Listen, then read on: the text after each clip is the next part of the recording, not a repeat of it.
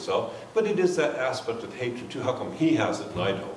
You know, so there's an anger there, and there's a, there's always ignorance. Ignorance is the one factor that's always present, and uh, this is one of the reasons that Buddhas and Bodhisattvas and advanced practitioners and people really trying to take the Dharma to heart really don't wish punishment on others, don't wish harm on others.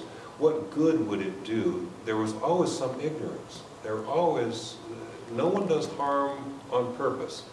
That's funny how, excuse me, that was a principle of Socrates and